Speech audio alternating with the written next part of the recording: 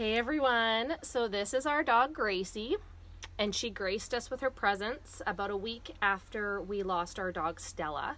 Um, she is Stella's niece and she looks a lot like her. And uh, I wanted to come on here. This time of year is the time that I do a video every single year talking about. Uh, water intoxication when it comes to your dogs. Now, it's mostly prevalent in working dogs or dogs that love to swim, and it's also mostly present in uh, smaller dogs because what happens is they take on too much water and it throws off the uh, too quickly and it throws off the electrolytes in their body and their organs start to shut down.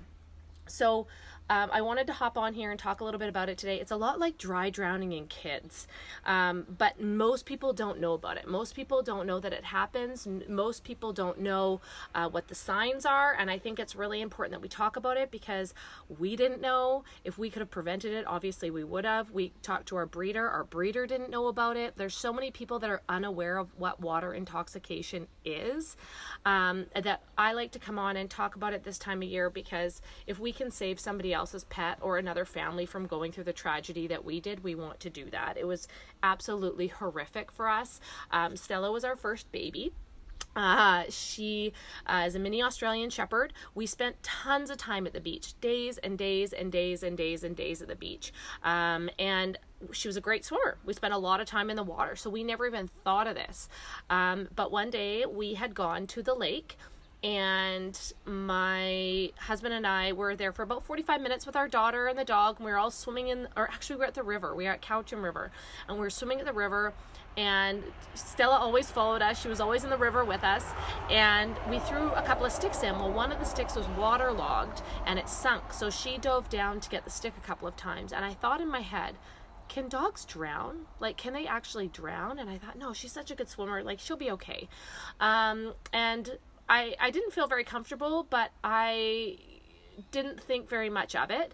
And then we dried off and we came home and all of a sudden she was not okay. Uh, she was peeing uncontrollably in the house and outside, which wasn't normal. She was um, she was shaking. She was she couldn't stand. It was like she was drunk. Like she would fall over. She didn't have any balance. She was drooling uncontrollably. She could barely open her eyes. They were like really dilated and squinty. She was panting. Um, we tried to feed her and she threw up and she always ate everything.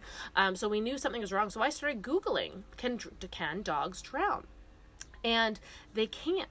Um, they can uh, take on too much water too quickly and and drown and dry drown. So even though she'd come home i started googling and the only two symptoms that she didn't have from water intox- intoxication was seizure and death it happens very quickly. And even if you catch it, you may or may not have the opportunity to get them to the vet and be able to save them.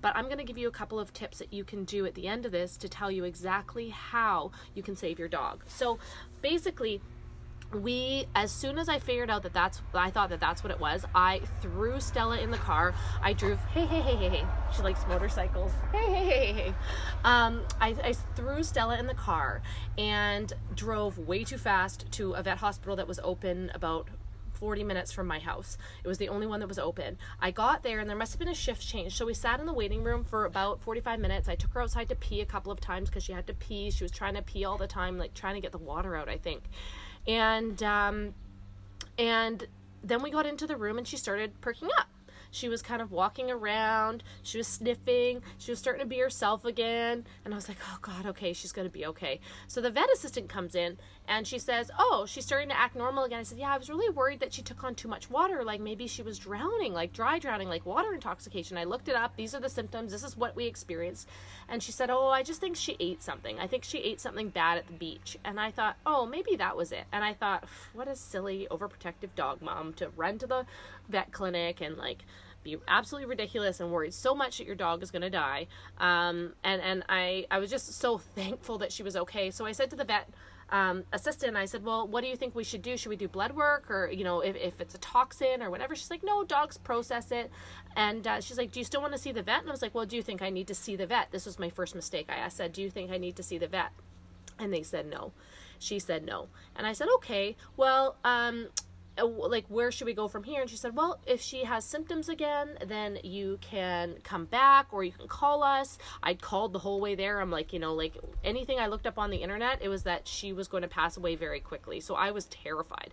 And the vet assistant said no i think she's fine. She'll pass it'll pass. She's starting to perk up again. Just keep keep monitoring her. So we got home and she was really lethargic really tired like not herself. The next day she was about 60% better. She was still pretty tired, lying around on the couch. Like she perked up, she ate, she was, you know, she kept her food down, she was fine. And then the third day, she was totally herself, running around the yard, like super happy, barking, excited. Um, and one of our friends was up at the lake, and she said, Why don't you come up for the day? It was 30 degrees. Like, why don't you come up for the day and cool off? Um, so we packed up Izzy and packed up Stella and went up to the lake. And, you know, we were still kind of nervous about Stella, so we just kind of brought her into the water and got her wet. We weren't, we didn't want her to swim or anything. And, um, and she, she started showing symptoms very quickly. Within about 10 minutes of being in the water, like or around the water she like went back to drooling um, not being able to stand. And we we knew something was wrong right away. So i started calling the vet there. The vet was closed. We were about 40 minutes from the closest vet that was closing at 6 p.m and i was like please stay open. We won't make it to nanaimo. I knew she wasn't going to make it. And um, we jumped in the car threw izzy in the car. Um, i picked stella up and i was holding her in my arms. And unfortunately on that drive that horrific drive um, Stella had a seizure in my arms. And then we pulled over and like tried to help her. And then she had another seizure and she died five minutes before we got to the vet hospital. And it was absolutely horrific. My heart was breaking in pieces. If you've ever had your first dog um, pass away, being helpless and having them in your arms is one of the worst things that can ever happen and uh, I was heartbroken. I was upset. It was just like one of the worst things that ever happened to us. And I said from then on there, every year I was going to do a video and tell people that this could happen and tell people that, um, you know, water intoxication is a thing for dogs, especially if they're swimmers. Um, what you can do to make sure it doesn't happen to your dog is take breaks. Make sure that the sticks you are throwing float or you're using a ball that floats. Um, but really, just be conscious and take breaks because if you break up the time um, th- that they're in the water and they have time for their electrolytes to even out, then they'll be fine. But we didn't know. And that lack of knowledge cost us one of our favorite things on the whole in the whole world. And uh, I think now, I think back to it now, and I, I think Stella and this story is going to save a lot of other people and their dogs. If you have a dog and you've never heard about water intoxication, watch the whole video. Um, if you know people that have dogs, your family or friends have dogs, tag them in the video, share the video with them, send it in a private message because I wish, I wish I had known. I wish I had known. My breeder didn't know, my friends didn't know when I started talking about it, and we could have saved a life. So I hope that, um, you know, this tragedy will spare somebody else the heartache that we went through. Uh, you know, we're fine now. We have Gracie who graced us and Larry David, um, and they, you know, they filled the void. But we'll never forget Stella, and uh, and I hope never uh, another family doesn't ever have to go through what we did. I uh, hope that was valuable to you, and please share it with a friend that has a dog. You could save a life.